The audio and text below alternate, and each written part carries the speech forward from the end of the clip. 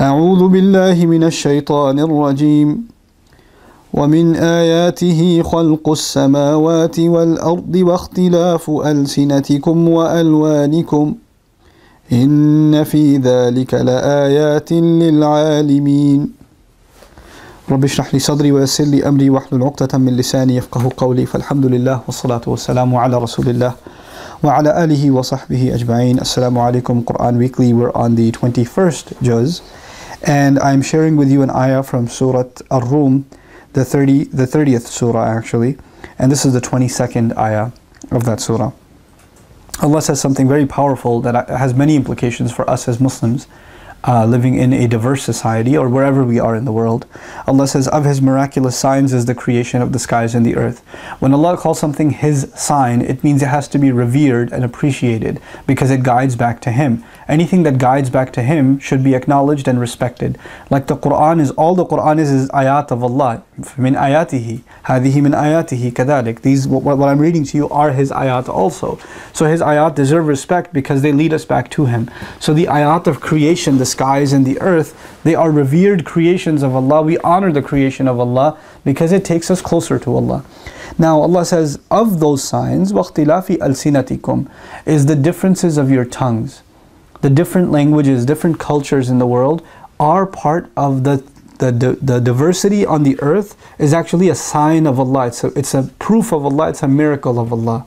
That Allah Azza wa created us from one human being, from one man and one female, you know, خلق منها زوجها وبث منهما رجالا كثيرا ونساء you know خلقكم من نفس واحدة وخلق منها زوجها he created you from a single person and then you know from from him the spouse and then created so many of you and here he says so many of you became so many different languages so many different languages Adam alayhi salam was taught al-asma the words that must have been one language right so all languages in the world are like the children of the language of Adam alayhi salam all these different languages that are there are variations further and further and further variations of the original language taught to Adam alayhi salam.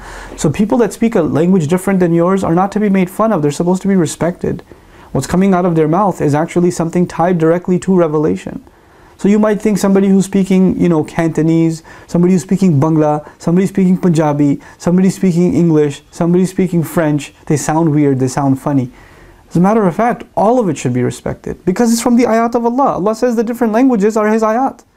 So English is an ayah of Allah, French is an ayah of Allah, Punjabi is an ayah of Allah. Subhanallah, these different tongues, these different languages are ayat of Allah, are signs of God.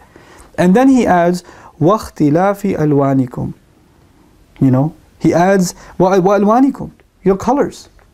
Different color skin is a sign of God. So the fact that there are different ethnicities in the world, from the Muslim perspective, from the Quranic perspective, we're supposed to have respect for different races just because Allah called races themselves, different colors of skin themselves, a divine sign, a sign of Himself, a reminder of Himself.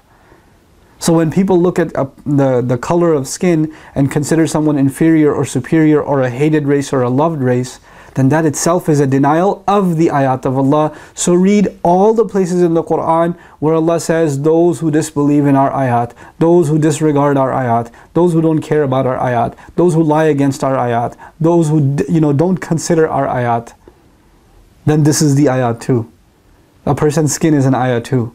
And you don't respect a person who's a different skin than you, you are disregarding an ayah of Allah. What a powerful teaching of the Quran.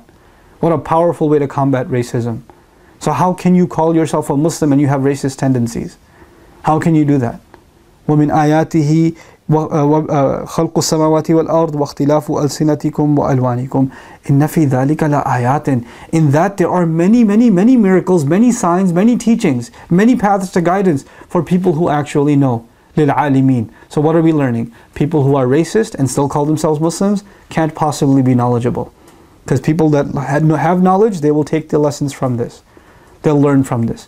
May Allah remove racism and prejudice and a disregard for other cultures away from our hearts because a disregard of that is in fact, these things are in fact disregard of the ayat of Allah. And may Allah make us of those that every one of His ayat bring us closer to Him and a disregard of them is completely and it never happens in our hearts. That we never ever ever overlook something that Allah is supposed to, that Allah made, that we can come closer and closer to Him. بارك الله لي ولكم والسلام عليكم ورحمة الله وبركاته.